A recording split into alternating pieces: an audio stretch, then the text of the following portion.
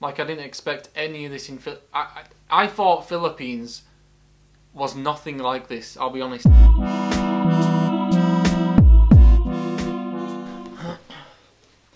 yes, I am wearing a stupid hat, and I am wearing a jacket inside, but it's cold. And I did record a different video before this in a different hat. I just wanted to mix it up. And also, I've moved chairs because my back hurt in that other chair. And this is like an old recliner chair, so we're going to do it on this. So, top 10 places in the Philippines. This is something I wish I could do. I have no, I, I'll be honest, I have no idea what it looks like in the Philippines. The only, other than when we're watching shows, but the only time I've ever seen any shots of the Philippines is a wrestler called Batista, my favourite wrestler ever. He's, I think he's half Filipino, and he did a little travel back to the Philippines.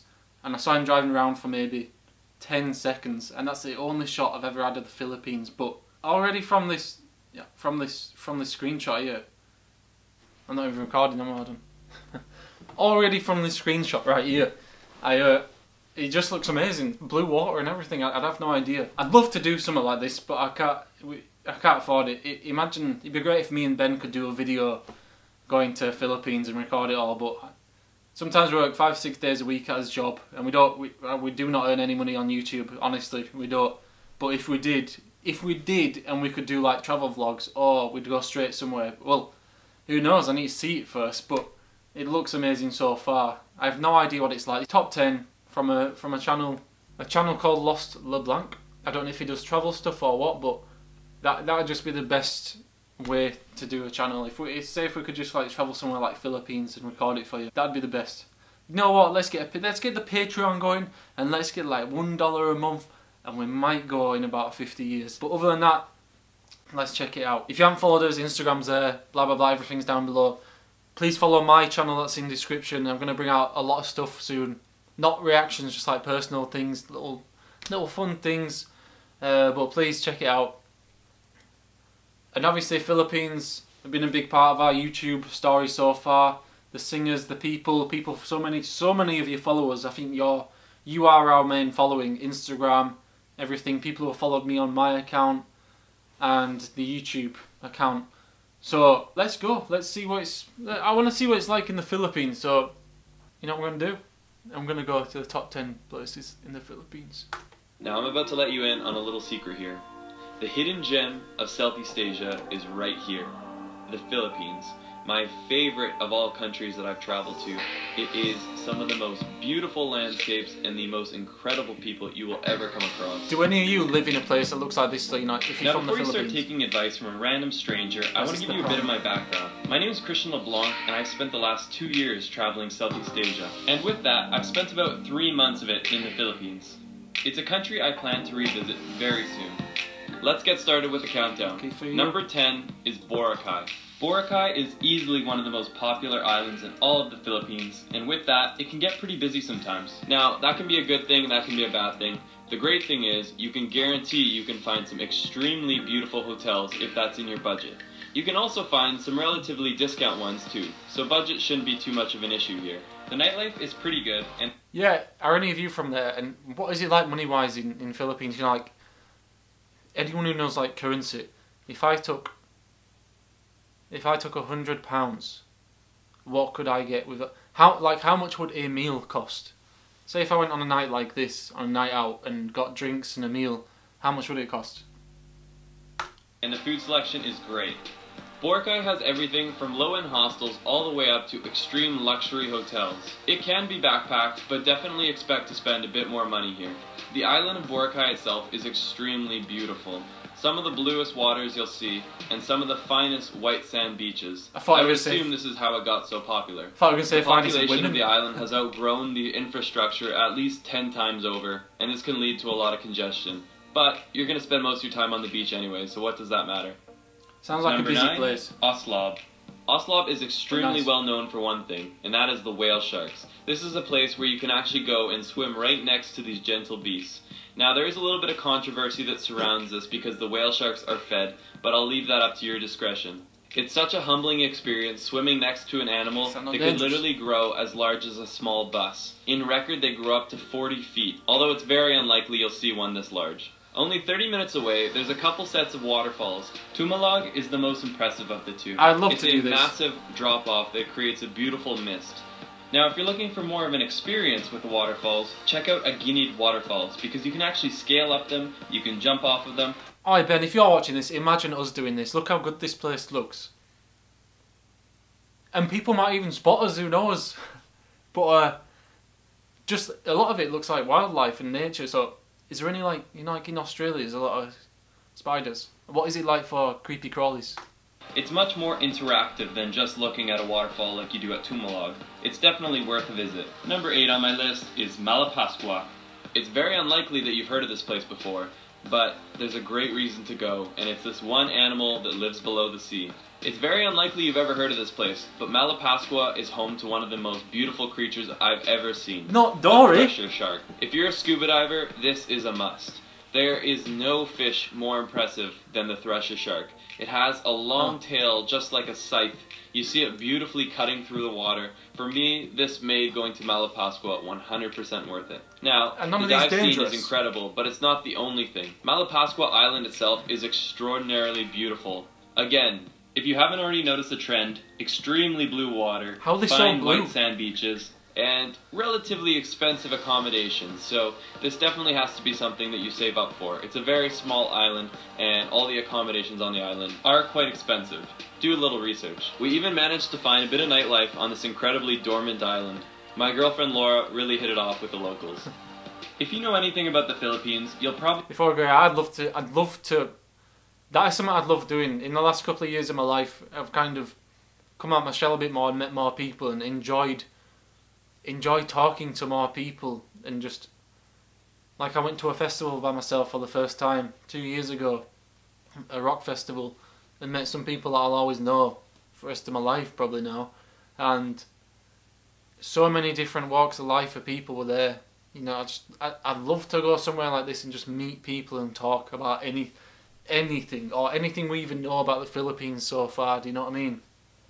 probably be shocked that I put El Nido in seventh place. When we El have Nido the money. is easily one of the most beautiful places in the Philippines and arguably the world. The beauty of this place leaves you in awe. Now let's start with the great things about this place. The Four Island Tour is incredible because it lets you see the cerulean blue waters, the jagged cliff sides. It's seriously earth porn. It's nothing like you've ever seen before. The days in El Nido are unforgettable because you'll spend your entire day hanging around these beautiful landscapes. But this is where the problems start. When night hits, it becomes a bit less enjoyable, I'd say. El Nido's electrical grid is archaic at best. When we backpacked, we spent at least half of our nights in darkness. And worse than the dark, we spent it without any fan or air conditioning. It gets extremely hot in the Philippines, and when the power goes out, I become a pretty unhappy camper. In addition to this, if you're planning to do anything like I do as a YouTuber, uploading is basically a no-go. The internet speeds are so slow, and it will drive you mad. Sounds like now there house. are some ways you can get around these inconveniences. If you spend a lot more money, you can actually stay at accommodations that will have backup generators, and this will at least help take care. Of knows the how record of his girlfriend's bum, doesn't he? So you won't sweat to death at night. I want to end this on a positive note because despite all the inconveniences of El Nido, the beauty of this place makes it all worth it. So you have to go check it out. If you end up going, make sure you do the Four Island tour and make sure you climb Taraw Cliff if you're willing to risk your life. It's extremely jagged, but the like view you get is unforgettable. But it could be The next it. on my list is Bohol. If anyone saw me daydreaming through that last bit, I was actually thinking about us going to the Philippines and like us filming it, if we could, like how how how we'd do it.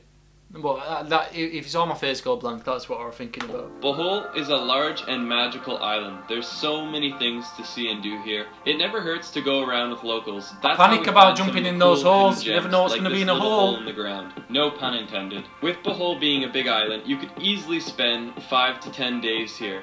The most popular of the beaches is Alona Beach, and this is a place where you can stay at a five-star hotel or at a guest house or hostel. How do you get The much pricing time off work, definitely on the expensive end, but nothing unreasonable.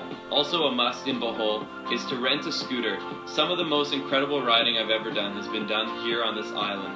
You take the scooter, you drive up further north from Alona Beach, and you'll end up visiting these guys. These are tarsiers. Animals only found in Bohol. They basically sit like this all day, but what more could you ask for? I mean, just look at him. He's chilling. Mondays, am I right? Also, we're Like imagine seeing an animal like that uh, only exists in one place. How rare it is. It's like a life experience. I know you can see it on a screen, but it, it makes no, when you see something up close or in the wild. Like I, I freak out if I see a fox in England. Something about foxes that I really like. It's just so rare to see an animal in the nature. You know what I mean? worth mentioning, I did go up further north to Anda Beach, and although I liked Anda, I didn't love it. I found it a bit of a dirty beach. For me, I would have preferred to have stayed in Alona Beach, Dirty, rented a scooter, and used it to do day trips like seeing the Tarsiers, the Chocolate Hills, etc. You'll also see a lot of European-inspired churches while exploring the Philippines. This one here was built by the Spanish, and it was actually shook up during an earthquake a few years ago. Just after visiting the Tarsiers, you're gonna see the man-made forest. And true to its name, it's a forest that was actually hand-planted by men. It's a really awesome feeling because as you drive down this narrow road, you feel like you're going through a tree tunnel. It's great for Instagram goals, and it's definitely an awesome feeling as you're riding on your scooter. an advert coming After the man-made forest, about another Oh, Is DeGrasse knowing Tyson. I love this a guy. I love to that guy, but I'm sorry, not today. Another 35, 45 minutes up north, you'll be going through what some people deem the main attraction of Bohol. These are the Chocolate Hills, and you'll notice they look extremely similar to a Hershey Kiss. I don't know if that's why they've been called that, but the name is definitely fitting. Imagine you can that drive up to the top of one of the hills and actually get a pretty good vista of the entire Sunrise. mountain range. I definitely recommend it. Number five are is a place underrated. that's on very few people's lists. Dumaguete is an incredible place, and there's a lot to see and do here. It's a place I spent almost two weeks scuba diving and exploring its beautiful nature. If you go to Dumaguete, check out Casaroro Falls. How are you getting this I know I'm much time off work, man? Two but I'll write it weeks down there. below. Right across from Dumaguete is a short boat ride to Apo Island. Make sure you check out this place. Apo Island translates into English as Turtle Island, and it's well named because everywhere you go is serious dude, bro. There's sea turtles everywhere, and these chillers are used to having people around, so they don't mind when you swim up next to them. Just make sure not to touch them. This is by no means in Dumaguete. Imagine meeting a sea turtle. Yeah, meeting. I know I said meeting. You like meeting. It's just you. You could probably travel the Philippines, and you've done your life's travel. There's so many things there, so many different parts. Only things you'd see in that country. Like I didn't expect any of this in Phil. I, I I thought Philippines was nothing like this. I'll be honest. Like with what I've seen before, I thought it was not like this at all. But this is one of the must, must, must do's of the Philippines. This here is Manjuyod Sandbar. I call this place the Maldives of the Philippines. It's about a two to three hour drive Yeah. to get here from Dumaguete, but every single minute of the ride is worth it. Once you arrive, you arrive at a little dock, you take a boat across about 45 minutes, and you arrive in paradise. If you have that extra time, or you want to take your Instagram to a whole nother level, you better check out Manjuyod Sandbar. Those are just a few of the things you can do in Dumaguete. There's some nightlife, there's great restaurants, and a whole lot of nice hotels and resorts. This is a place for anyone on any budget. Number four, almost Sure. on the podium, but not quite, Kawasan Falls, also known as Badian Canyoneering. Now, before I even get into this, if you're not too afraid of heights and you're not afraid to get wet, this is one of the coolest things that you can do in the Philippines. It's a full day trip where you're guided through these very narrow crevasses where the water flows down, creating these awesome little waterfalls. It's such a unique and amazing experience that you really can't find that many places in the world. I brought my expensive slow motion camera in a lousy waterproof housing. I risked it for you guys. You're welcome. Badian Canyoneering is a guided expedition, and you cannot do this alone. By law, you need to have a guide, and I highly recommend it anyways. You would not want to do this alone. It's not to, too why? expensive. From my memory, it's about 30 US dollars. You get a guide, and he shows you through the canyons, he pushes you off the cliffs, and you even get a meal out of it. So it's not too bad. At the end of the canyon For is the world-renowned Kawasan Fall. This waterfall literally looks like the exit to the Gatorade factory. The water is this weird fluorescent blue that looks like it should be bottled and sold to people at a very high price. The water is quite cold, so it's a very nice refreshing break after a long day of jumping through canyons. Oh, did now you I drink must it? mention that when this was filmed, I was actually one of the last groups to have gone through the Badian Canyon in quite some time, and I'm not even sure if they've reopened. The municipal government shut it down because they were worried about erosion, so do a little research. Hopefully it's reopened because it is one of the top things to do in the Philippines. Also, random insert, you'll see roosters everywhere in the Philippines. Cockfighting is basically a national sport. I named him Fred. The bronze medal goes to my favorite landscape in the entire world. This beach is seriously heaven, and I don't use that word lightly. It is my favorite. And I'm honestly blown away that to this day, Nacpan has not been developed as a resort town. This is the most incredible landscape that I've ever seen. Now, if you remember, we talked about El Nido being in 7th or 6th place. Well, Nacpan is about a 45 minute scooter ride away from El Nido. So again, if you were on the edge of going to El Nido, consider this. You will get Nacpan and El Nido together because they're... So I might as well just go here. Like, how, if, if I rented a scooter, how much would the scooter be? Pretty much. How much would it cost? My neighbour is outside in his car looking in the window, staring at me right now. I have no idea why. only a scooter ride away from each other. The problem with Nacpan So I'm moving is this way a bit so I can't see Because me. it's such a beautifully It's just staring untouched landscape, there's nothing on it. There's really only a couple guest houses with which they have no electricity after a certain hour. I think it's after 6 p.m. You have two options. You can either rough the heat and stay in a very basic guest house on one of the most beautiful beaches in the entire world, or you can just rent a scooter from El Nido and drive back to your hotel, resort, wherever you're staying in El Nido. But one of the most epic day trips How do ever get there? No, I, I mean, it's, it's an island. What you on about a scooter? This island here is my silver medal. It's probably my favorite island in the entire world, and it's easily the best island in the Philippines. It is the definition of exploring, getting lost, and seeing things that few others have ever seen before. Bantayan Island is basically like Boracay before Boracay blew up. It has the beauty that will one day become a developed area, but for right now, this is a place that you can experience to yourself. There's so much to do here. From exploring the jungle to exploring the beautiful beach that surrounds the entire island. There's even goats that freely roam. do people live a lot? Oh, Definitely check out the meeting a goat. mangroves. There are these little trees that grow on the water. Go explore the other side of the island where there's literally no identifiable landmarks. It just so beautiful, wet. untouched nature, and so many kids just playing on the side of the road. Definitely say hi to them. They really appreciate it, and they're a lot of fun to hang out with. I How joined a few nice is in playing some everybody in the- basketball, in and it was these definitely one of the all over highlights of my day. Philippines? It wouldn't be a perfect island experience without a perfect sunset, and Bantayan certainly has a lot of them. In fact, the Philippines has plenty of them. I don't think I've seen more beautiful sunsets in my entire life. You really start to take them for granted because every single night you get a sunset that could easily be one of the most beautiful you've ever seen. Now, I don't want to call it the winner because everyone's a winner, guys. But just kidding, this is the winner of my top 10 of the Philippines, Coron. Coron is definitely not Coron. the easiest of places to get to. It's pretty far north. In fact, it's even farther north than El Nido. It's more inaccessible than El Nido, and it can definitely be a bit of an expensive place to visit because it's so inaccessible. You either take like a five Imagine just getting lost there, you know, like by yourself, you know, just neighbour staring at me again. Imagine just going away. Imagine if you didn't have to worry about like money or anything.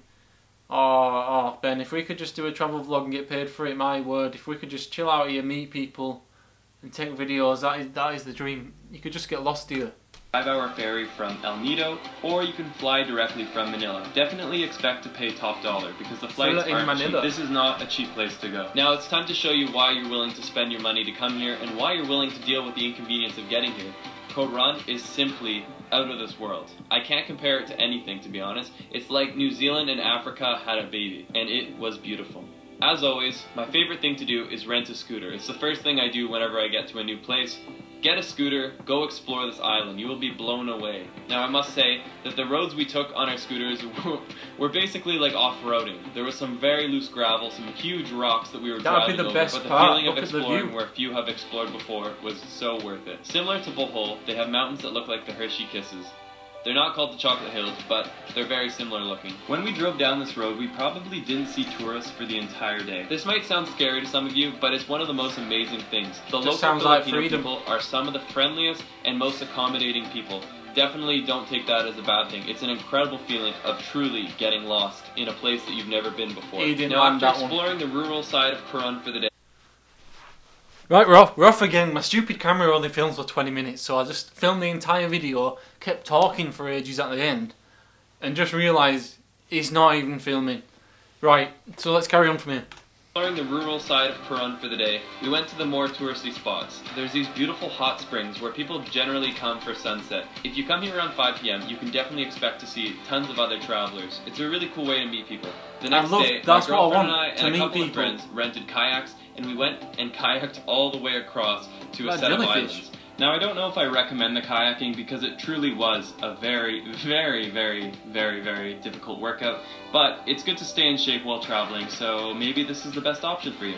There's also the option to do island tours similar to an El Nido, so maybe check that out if you don't want to go through excruciating heat in a kayak. But when we made it to the other side, cream the work was so worth it. Similar to the landscapes of El Nido, you have the jagged cliff sides, the incredibly blue water, and the feeling of being cut off from the rest of the world. It's extremely That's what you want, just to get away and feel like you're on your own in the perfect place. Not on your own, but you know, like all the stresses you have in the world about stuff, money. You, you could just get away for some time. I, I'd love to do this. I'd love as YouTube to take off and just be able to do this. So imagine just being able to come over and meet you guys. Anyone who's still watching at this point in the video, thank you. We've gone on for a while now, but if you imagine we could just come over and meet you guys, do some videos, do some vlogs. If anyone would want to meet us. Energizing to do that every now and then. These are among some of my favorite drone shots I've ever captured. Thank you, Coron. This is Laura looking graceful, but then she got bit by a fish. At the end of the day, we put up the white flag and we paid someone to tow our kayaks back behind their motorboat. It was the best decision we ever made. If you like this video and want to see more like this, check out the videos linked below. I have top 10 It'd literally be the dream to do. I had no idea Philippines was like that either. Maybe these are they will all seem like islands off of the Philippines. So how far away are they from the centre? From like the, the city centres? Um, what are you say? Where, where do any of you live near here? Or, uh, is everybody in the city centre? Where you all from if you're watching? Uh, give me some. Why don't you do some videos of where you live and just we could watch them? Do you know what I mean? Like follow us videos where we are if you're watching us where you're watching us from uh, and if you've ever been to these places which I'd like to go then I say we set up a Patreon now. Anyone who, who donates from the Philippines we go meet them when we're over there for funding it. And that's my idea. See? Imagine that. Okay but right stay safe. Let me know how you're doing. And give me some more to watch. But ciao ciao.